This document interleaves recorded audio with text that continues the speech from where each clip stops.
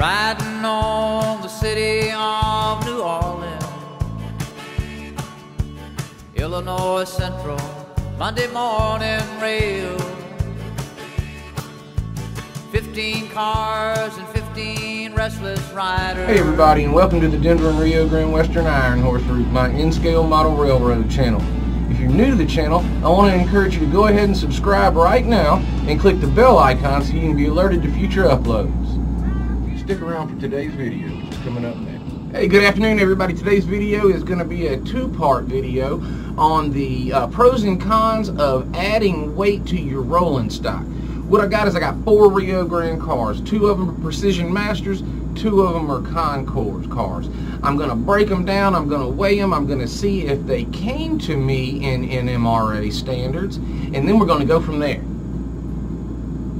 Alright, so I've been working real hard on my layout, trying to get cars running around smooth, not derailing, so it can run a continuous loop and look great and all that good stuff, and now I find out all four of my cars aren't even near the right weight. Okay, and that raised four questions for me real quick. When I add this weight to my cars, are my track errors and track work defects going to glare even worse? Number one, I don't know. We're going to see about that. Number two, how much locomotive pulling power am I going to lose? I mean, I'm fixing to almost double the weight of my train. I don't want to have 14 locos pulling nine cars, if you get what I mean. Number three, why do these companies make the cars to half the NMRA standards in the first place. I mean, do they do that to save money? I mean, I'm not sure. Lead's not that expensive. And number four, the NMRA standards, do those weight standards actually account for performance on the model railroad track? Or are those weight standards trying to get our cars as close as we can to scale prototypical weight?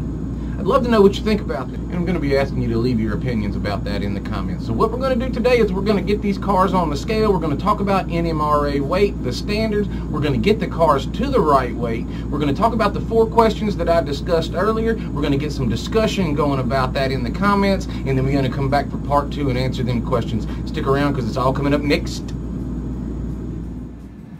Okay. So in looking at keeping things on NMRA standards for N scale.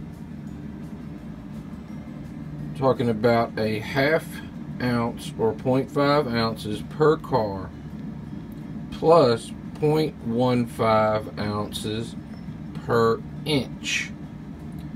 Alright, so I have two cars that are 4 inches in length and two cars that are three and a half inches in length. So, get the glare off. I take a half ounce plus 4 times 0.15. Okay, 4 times 0.15 is 0.6, or just a little over a half ounce. Plus the half ounce. That gives me 1.1 ounces for the 4 inch car the three and a half inch car would be 3.5 times 1.5 which equals 0.525 or 0.5 rounded.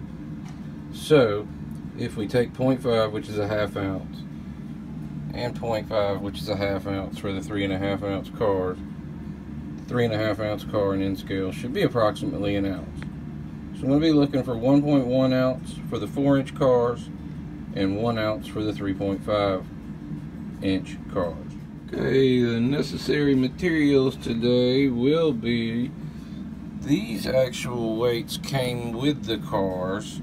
Um, those four right there, one doesn't look very good. And those are 0.15. Those came with the 4 inch cars and these two guys came with the three and a half inch cars. They're also 0.15 it's kind of ironic because you're supposed to add 0.15 per inch okay? These cars had two which is half of what they should have basically. And these cars had one which is almost half of what they should have had so my wife was nice enough to pick up some split shots for me Actually, they're exactly what I ordered. It turned out that they might be a little smaller than I wish I had, but they will work. There's four ounces of them. I just kind of wish the sizes were maybe a tad bigger because um, the ones that are a tad bigger, there aren't a whole lot of them in the pack. So if you get some from Walmart or anywhere similar to use uh, for weighting your cars, you may want to get a slightly larger set than this one. And you'll see more about that in a sec. But these are 0.15. I do have a scale and um, it's going to be important for what we're doing and I'll just show you real quick 0.15 this is just a uh, scale I actually use to weigh my tomatoes I uh, grow um, heirloom tomatoes as well. 0.15 so the balls weigh. 0.15 as well. And uh, I'm gonna have two of those for each car. Um, I don't know if I'll need the tweezers but I got them here. So I am gonna need the scale. I got my ruler. Um, chocolate might need that for this application as uh, we don't drink around here. So anyway we're going to get to it in just a sec. Slowly but surely add weights. We're going to run the cars All right, so I've got the four cars lined up here. They're raw. They have absolutely no weights in them. This is not how they came. They did come with some weights. Actually, the um, you, I have the Con-Cor cars here as well as the Precision Master cars. I just wanted to show you those. Um, now, these are all... Um, right now, raw weighted, we are at, this is half ounce, right under a half ounce, 0.4, 0.4, okay, now, these are supposed to be one, these are supposed to be one one. Now, on the smaller ones, they come initially uh, with the bar weight that's 0.15. So what that's going to do is put me at uh, 0.55 or 0.6. Okay, for both of these, these are off a gram or so. Um, okay, 0.55, 0.6. All right, and these are with 0.15 added to them as well. These are 0.60, 0.65. I mean, these are basically just um,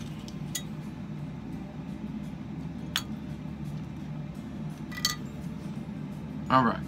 So, basically, how they came these are 0.6, these are 0.65 roughly. Both are a half ounce approximately under NMRA standards. The first time I'm going to run them, I'm going to run them, you know, with bare, no weights. Then I'm going to uh, run them as they came, like they are now, a half ounce under NMRA standards. Then I'm going to inch it up, okay, two more times from there.